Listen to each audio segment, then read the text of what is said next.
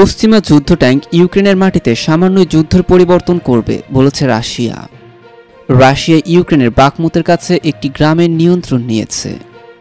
SBU Russian এজেন্টদের আটক করেছে। নতুন দানবকে পরাজিত করতে হবে, বলেছে লুলা।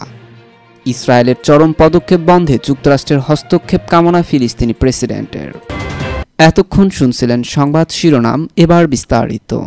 পশ্চিমা ট্যাঙ্কগুলি ইউক্রেনের মাটিতে সামান্য যুদ্ধের পার্থক্য তৈরি করবে, বলেছে রাশিয়া। রাশিয়ার সাথে চলমান যুদ্ধে ইউক্রেনের কাছে মার্কিন যুক্তরাষ্ট্র এবং অন্যান্য পশ্চিমা দেশগুলি আর্থিক ও সামরিক সহায়তার প্রতিশ্রুতি দেওয়ার পরে ক্রেমলিন বলেছে যে পশ্চিমা ট্যাঙ্কগুলি যুদ্ধক্ষেত্রে সামান্যই পার্থক্য তৈরি করবে। রাশিয়ান সরকার বলেছে যেহেতু পশ্চিমা শক্তিগুলো কিয়েবের জন্য সামরিক সহায়তা নিয়ে আলোচনা করার জন্য একত্রিত হয়েছে, এটি রাশিয়ান পক্ষের লক্ষ্য অর্জনের পথে অগ্রসর হওয়ার ক্ষেত্রে কিছুই পরিবর্তন করবে না। বৃহস্পতিবার ক্রেমলিন ইউক্রেনের একটি অত্যন্ত বিপজ্জনক বৃদ্ধির বিষয়ে সতর্ক করেছে। যদি পশ্চিমারা রাশিয়াকে আঘাত করতে সক্ষম দীর্ঘ পাল্লার অস্ত্র পাঠায় তবে যুক্তরাষ্ট্র ইউক্রেনকে দুই দশমিক পাঁচ বিলিয়ন ডলার মূল্যের আরও একটি সামরিক সহায়তা প্যাকেজ ঘোষণা করেছে। এই সহায়তা প্যাকেজ ইউক্রেনকে শত শত অতিরিক্ত সাজোয়া যান প্রদান করবে, যার মধ্যে রয়েছে স্ট্রাইকার সাজোয়া কর্মী বাহক। ব্র্যাডলি পদাতিক ফাইটিং যান, মাইন প্রতিরোধী অ্যাম্বুশ সুরক্ষিত যানবাহন, উচ্চ গতিশীল বহুমুখী চাকার যানবাহন। মার্কিন পররাষ্ট্রমন্ত্রী অ্যান্টনি ব্লিংকেন এই কথা বলেছেন। তিনি আরও বলেছেন যে প্যাকেজটিতে ইউক্রেনের জন্য গুরুত্বপূর্ণ অতিরিক্ত বিমান প্রতিরক্ষা সহায়তা অন্তর্ভুক্ত রয়েছে, যেমন আরও অ্যাভেঞ্চার এয়ার ডিফেন্স সিস্টেম এবং সার্ফেস টু এয়ার মিসাইল সেই সাথে নাসামস এর জন্য অতিরিক্ত যুদ্ধাস্ত্র যা মার্কিন যুক্তরাষ্ট্র পূর্বে প্রদান করেছে।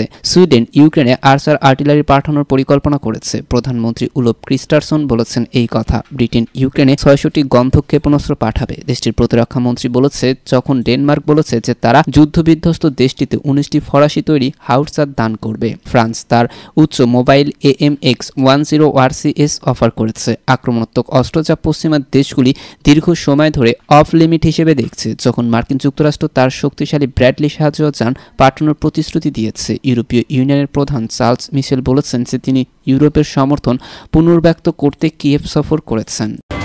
এদিকে জানিয়ে দিব, রাশিয়া ইউক্রেনের বাকমুতের কাছে একটি গ্রামের নিয়ন্ত্রণ দাবি করেছে। রাশিয়া শুক্রবার বলেছে যে তার বাহিনী ইউক্রেনের দুটি গ্রাম দখল করেছে, যার মধ্যে পূর্ব অঞ্চলীয় শহর বাকমুতের দক্ষিণে একটি গ্রাম রয়েছে, যা এখন কিয়েভ এবং মস্কোর বাহিনীর মধ্যে লড়াইয়ের কেন্দ্রস্থল। এএফপির খবরে এই কথা প্রকাশ করা হয়েছে। প্রতিরক্ষা মন্ত্রক আরও বলেছে যে কামান এবং বিমান চালানোর সহায়তায় রাশিয়াপন্থী বিচ্ছিন্নতাবাদী বাহিনী দোনেৎস্কের পূর্ব অঞ্চলে ক্লিস চিপকার কাছে নিয়ন্ত্রণ নিয়েছে। মস্কো ইউক্রেনের সৈন্য পাঠানোর আগে ক্লিস চিপকা যার আনুমানিক জনসংখ্যা ছিল প্রায় পাঁচশো জন। বাকমুতের দক্ষিণ পশ্চিমে অবস্থিত পরামর্শ দেয় যে রাশিয়ান বাহিনী শহরটিকে ঘিরে ফেলার চেষ্টা করেছে। রাশিয়া গত বছর শিল্প কেন্দ্র দখল করার জন্য তার আক্রমণ শুরু করেছিল, কিন্তু দোনেৎস্ক অঞ্চল দখল করা এখন রাশিয়ার সংঘাতের প্রাথমিক লক্ষ্য হলেও নিষ্পত্তিমূলক লাভ করতে ব্যর্থ হয়েছে। প্রতিরক্ষা মন্ত্রণালয় এবং ভাড়াটে গোষ্ঠী ওয়াগনার গত সপ্তাহে বলেছে যে তারা দোনেৎসকে সোলেদারের নিয়ন্ত্রণ দখল করেছে। কয়েক মাস যুদ্ধক্ষেত্রে বিপর্যয়ের পরে মস্কোর বিজয়ের প্রথম দাবি। প্রতিরক্ষা মন্ত্রক শুক্রবার আরও বলেছে যে এটি চাপুরিজা রাজ্যের দক্ষিণ অঞ্চলের লোপকোপ গ্রামটিকে মুক্ত করেছে জাপুরিচে এবং দোনেৎস্কো হল ইউক্রেনের চারটি অঞ্চলের মধ্যে দুটি, যা রাশিয়ার রাষ্ট্রপতি ভ্লাদিমির পুতিন সেপ্টেম্বরে ঘোষণা করেছিলেন যে তারা রাশিয়ার অংশ ছিল। ক্রেমলিন তাদের থেকে ইউক্রেন বাহিনীকে ধাক্কা দেওয়ার জন্য সমস্ত উপলব্ধ উপায় ব্যবহার করার প্রতিশ্রুতি দিয়েছে। এদিকে জানিয়ে দিব, এসবিইউ রাশিয়ান এজেন্টদের আটকের ঘোষণা দিয়েছে।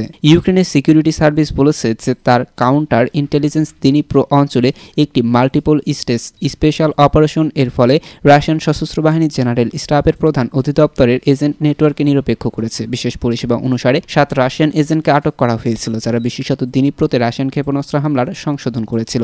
ইউক্রেনের সিকিউরিটি সার্ভিসের প্রধান ভ্যাসিল মালিউক বলেছেন, প্রত্যেক বন্দুকধারী বা সংশোধনাগার কর্মকর্তার বুঝতে হবে যে তার ক্রিয়াকলাপ বাদ যাবে না। এসবিইউ জানিয়েছে যে আটকরা রাশিয়াকে শক্তি উৎপাদনকারী উদ্যোগ সহ গুরুত্বপূর্ণ অবকাঠামো সুবিধার স্থানাঙ্ক দিয়েছিল। দখলকারীরা এই তথ্যটি শহরটিতে রকেট হামলার প্রস্তুতি চালানোর জন্য ব্যবহার করেছিল এবং আক্রমণের পরে এজেন্টরা বিমান হামলার প্রভাব নির্ধারণ করতে এবং তাদের পুনরায় সামঞ্জস্য করতে আগমন সাইটগুলি পরিদর্শন করে। এই বছরের চোদ্দই জানুয়ারি দিনিপ্রোর একটি আবাসিক ভবনে রাশিয়ান হামলার আটকদের সম্ভাব্য জড়িত থাকার তথ্য বর্তমানে পরীক্ষা করা হচ্ছে। এছাড়া এসবিইউ অনুসারে আটক ব্যক্তিরা এই অঞ্চলে প্রতিরক্ষা বাহিনীর ইউনিটগুলির ঘাঁটি এবং গতিবিধি সম্পর্কে গোয়েন্দা তথ্য সংগ্রহ করেছিল। ইউক্রেনীয় ক্ষেপণাস্ত্র বিরোধী প্রতিরক্ষা ব্যবস্থার অবস্থানগুলি চিহ্নিত করার চেষ্টা করেছিল এবং সংগৃহীত তথ্য প্রতিনিধিদের কাছে প্রেরণ করেছিল। জিআরইউ এর মাধ্যমে গোষ্ঠীর বাসিন্দারা এই তথ্য প্রকাশ করে। তিনি রাশিয়ান ফেডারেশনের একজন নাগরিক হিসেবে প্রমাণিত হয়েছিলেন। তিনি প্রাক্তন বাসিন্দা। তিনি দুই হাজার চোদ্দ সালে একটি স্থানীয় ক্রেমলিনপন্থী পাবলিক সংস্থা তৈরি করেছিলেন। এর প্রতিনিধিরা আগ্রাসী দেশের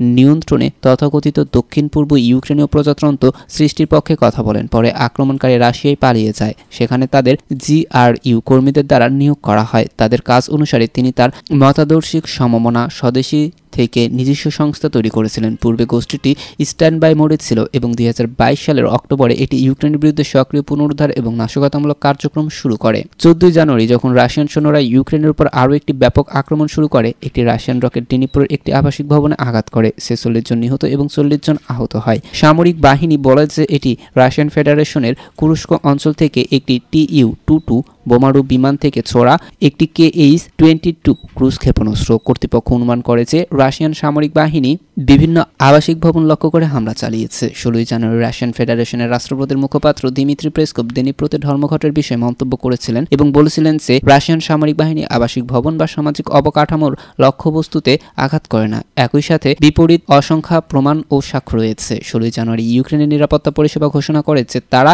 দিনীপুরের একটি আবাসিক ভবনের রকেট হামলায় জড়িত। এদিকে জানিয়ে দিব, নতুন দানবকে পরাজিত করতে হবে বলেছে প্রেসিডেন্ট লুলা। নতুন দানবকে পরাজিত করার অঙ্গীকার করেছেন ব্রাজিলের প্রেসিডেন্ট লুলা দা সিলভা। খবর এএফপির। গতকাল বৃহস্পতিবার রাজধানী ব্রাসিলিয়ায় প্রেসিডেন্ট প্রাসাদের বিশ্ববিদ্যালয়ের রেক্টরদের উদ্দেশ্যে দেওয়া বক্তৃতায় লুলা এই অঙ্গীকার করেন। লুলা বলেন, আমাদের চ্যালেঞ্জ করতে হবে, নতুন দানবকে পরাজিত করতে হবে। এই দানব হলো একটি অতি গোড়া, উগ্র ডানপন্থার উত্থান, তাদের চিন্তাভাবনার সঙ্গে মেলে না। এমন সবাইকে তারা ঘৃণা করে। বামপন্থী সাবেক ট্রেড ইউনিয়নের নেতা লুলা গত বছরের অক্টোবরে ব্রাজিলে অনুষ্ঠিত নির্বাচনে উগ্র ডানপন্থী তৎকালীন প্রেসিডেন্ট জয়ের বলসোনারোকে পরাজিত করেন। চলতি মাসের শুরুতে লুলা প্রেসিডেন্টের দায়িত্ব নেন। সাতাত্তর বছর বয়সী লুলা তৃতীয়বারের মতো ব্রাজিল এর প্রেসিডেন্টের দায়িত্ব পালন করেছেন। আগে দুই দফায় তিনি দুই হাজার তিন থেকে দুই হাজার দশ সাল পর্যন্ত ল্যাতিন আমেরিকার বৃহত্তম অর্থনৈতিক দেশটির বৃহৎ নেতৃত্ব দেন। লুলা দায়িত্ব নেওয়ার এক সপ্তাহের মাথায় ব্রাজিলের রাজধানীতে দাঙ্গা শুরু হয়। আটই জানুয়ারি বলসোনারো হাজারো সমর্থক দেশটির কংগ্রেস ভবন, প্রেসিডেন্ট প্রাসাদ ও সুপ্রিম কোর্ট ভবন দখল করে। তারা হামলায় ভাঙচুর চালান। দাঙ্গার ঘটনায় হাজারো ব্যক্তিকে গ্রেপ্তার করা হয়েছে। উগ্র ডানপন্থার উত্থান শুধু ব্রাজিলের সমস্যা নয় বলে মন্তব্য করেন লুলা। তার ভাষ্য, সারা বিশ্বে উগ্র ডানপন্থার উত্থান দেখা যাচ্ছে। নিজ দেশে ব্রাজিলে বলসোনারোর প্রভাবের বিষয়টি উল্লেখ করতে গিয়ে লুলা সাবেক মার্কিন প্রেসিডেন্ট ডোনাল্ড ট্রাম্পের প্রসঙ্গ টানেন। বলসোনারোকে প্রায় ট্রপিক্যাল ট্রাম্প নামে অভিহিত করা হয়। লুলা বলেন, তিনি আগে কখন ব্রাজিলকে এতটা ঘৃণা তারা আঁকড়ে থাকতে দেখেননি। ব্রাজিলের প্রেসিডেন্ট বলেন, যদিও আমরা বলসোনারোকে পরাজিত করেছি, তবুও আমাদের অবশ্যই ঘৃণা, মিথ্যা, বিভ্রান্তি, উগ্রতাকে পরাজিত করতে হবে, কারণ এই সমাজকে সভ্যতায় ফিরে আসতে হবে। এদিকে জানিয়ে দিব ইসরায়েলের চরম পদক্ষেপ, বন্ধে যুক্তরাষ্ট্রের হস্তক্ষেপ কামনা ফিলিস্তিনি প্রেসিডেন্ট। ফিলিস্তিনি প্রেসিডেন্ট মাহমুদ আব্বাস ফিলিস্তিনিদের বিরুদ্ধে ইসরায়েলের নতুন সরকারের বিভিন্ন পদক্ষেপ বন্ধে মার্কিন সরকারের প্রতি আহ্বান জানিয়েছেন। এক্ষেত্রে সময় ফুরিয়ে যাওয়ার আগে তিনি দ্রুত পদক্ষেপ গ্রহণের আহ্বান জানান। ফিলিস্তিনি সরকারি বার্তা সংস্থা ওয়াফা জানিয়েছে, বৃহস্পতিবার মার্কিন জাতীয় নিরাপত্তা উপদেষ্টা জ্যাক সুলিভান, এর সাথে পশ্চিম তীরের রামাল্লা নগরীতে আব্বাসের দপ্তরে অনুষ্ঠিত এক বৈঠকে তিনি এমন কথা বলেন। ওয়াফার খবরে বলা হয়, তিনি যেসব কার্যক্রমকে ইসরায়েলি সরকারের চরমপন্থী পদক্ষেপ হিসেবে অভিহিত করেছেন, সেসব কার্যক্রম বন্ধ করার জন্য যুক্তরাষ্ট্রকে হস্তক্ষেপ করার আহ্বান জানান এই সময় আব্বাস এই অঞ্চলে শান্তি ও স্থিতিশীলতার অবশিষ্ট সুযোগগুলো ধ্বংস করার জন্য ইসরায়েলকে অভিযুক্ত করেন। প্রতিবেদনে বলা হয়েছে সুলিবানকে দুই রাষ্ট্র সমাধান এবং স্বাক্ষরিত শান্তি চুক্তি ধ্বংস করার লক্ষ্যে ইসরায়েলের নতুন সরকারের গ্রহণ করা ধ্বংসাত্মক পদক্ষেপ এবং অপরাধের বিষয়ে অবহিত করেন আব্বাস। ফিলিস্তিনি নেতা বলেন, যুক্তরাষ্ট্রের উচিত ইসরায়েলের একতরফা বিভিন্ন অপরাধমূলক পদক্ষেপ বন্ধ করা। তাদের এসব অপরাধমূলক পদক্ষেপের মধ্যে রয়েছে জোরপূর্বক বসতি স্থাপন, হত্যা, ফিলিস্তিনি বিভিন্ন শহর ও নগরীতে হামলা এবং ফিলিস্তিনের ট্যাক্স কেটে নেওয়া। আব্বাস সুলিবানকে আরও বলেন, ফিলিস্তিনি নেতৃত্বে ইসরায়েলের এমন অপরাধের ধারাবাহিকতা মেনে নেবে না এবং তাদের মোকাবেলা করবে। এই নেতৃত্ব ফিলিস্তিনি জনগণ অধিকার, ভূমি ও পবিত্রতা রক্ষা করবে। এ সময় আব্বাস জেরুজালেমের দুই রাষ্ট্র সমাধান, সংরক্ষণ, বসতি কার্যক্রম বন্ধ এবং আইনি ও ঐতিহাসিক স্থিতি অবস্থা বজায় রাখতে যুক্তরাষ্ট্রের দেওয়া প্রতিশ্রুতি পূরণের গুরুত্বের ওপর জোর দিয়েছেন। এতক্ষণ আমাদের সাথে থাকার জন্য ধন্যবাদ। পরবর্তী সংবাদ সবার আগে পেতে আমাদের চ্যানেলটি সাবস্ক্রাইব করে পাশে থাকা বেল আইকনটিতে ক্লিক করে রাখুন।